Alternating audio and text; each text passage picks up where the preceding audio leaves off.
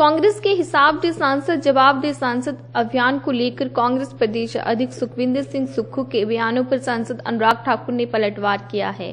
अनुराग ठाकुर ने उल्टा पूर्व मुख्यमंत्री वीरभद्र सिंह और कांग्रेस प्रदेश अध्यक्ष सुक्खू के बीच दरार होने के कारण कांग्रेस पार्टी ने अपना वर्चस्व खोया है। सांसद अनुराग ठाकुर ने होली उत्सव की बधाई दी। साथ ही कांग्रेस के सांसदों से हिसाब मांगने पर चुटकी लेते हुए कहा कि सुक्खू और वीरभद्र की लड़ाई में कांग्रेस ने बहुत कुछ खोया है। उन्होंने कहा कि कांग्रेस में आपसी लड़ाई लगी हुई है। उन्होंने कहा कि आपसी लड़ाई में हमीरपुर से भी भेदभाव हुआ है। तो रोज दे रहे हैं। हम तो रोज लेखा जोखा क्या? हम तो हिसाब किताब इतना बता रहे हैं कि अब कांग्रेस सुनने के लिए तैयार नहीं क्योंकि कांग्रेस की बोलती बंद हो गई है। और मैं इसलिए कहना चाहता हूँ, मैंने पहले दिन भी कहा कि सुखू जी की और वीरभद्र जी की लड़ाई के चक्कर में हमीरपुर ने बहुत कुछ खोया है। और मेरे उस बयान के ठीक दो दिन के बाद पूर्व मुख्यमंत्री यहाँ पर आए और कांग्रेस के प्रदेश अध्यक्ष को खरी खोटी सुनाकर गए। कांग्रेस के प्रदेश अध्यक्ष ने पूर्व मुख्यमंत्री को खरी खोटी सुनाई और यही हाल उनकी सरकार के समय था कि वो एक दूसरे की लड़ाई के चक्कर में हमीरपुर का मेडिकल कॉलेज हो, स्पाइस पार्क हो, बाकी सुविधाएँ हो, उन सबको छीनने का प्रयास किया गया तो कांग्रेस की अंदरूनी लड़ाई के करके हुआ।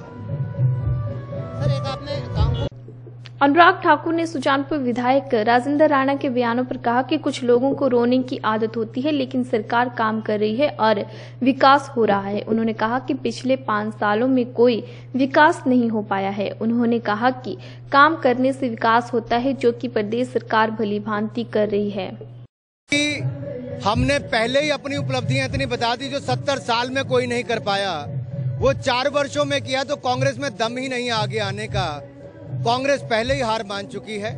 और मैं तो यहाँ पर स्पष्ट तौर पर कहना चाहता हूँ, अगर तीनों जिलों के लिए रेलवे लाइन मंजूर करवाना नंगल ऊना तलवाड़ा, जो चौतालीस साल में नहीं बन पाई थी, हमने हिमाचल का पूरा काम लगभग करवा लिया है।